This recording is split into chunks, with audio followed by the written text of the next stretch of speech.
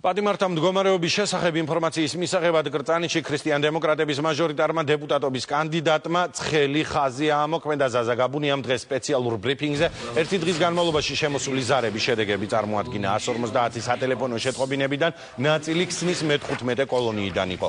გაბუნია აცხადებს რომ შეტყობინების მიხედვით 25 პატიმრის მდგომარეობა მძიმეა და დაუყოვნებლივ დახმარებას საჭიროებს. მაჟორიტარობის კანდიდატი საჯელ ახსულებისა და პრობაციის მინისტრისაგან ცხელ ხაზზე შესული შეტყობინებების მონი მონიტორინგს მოითხოვს.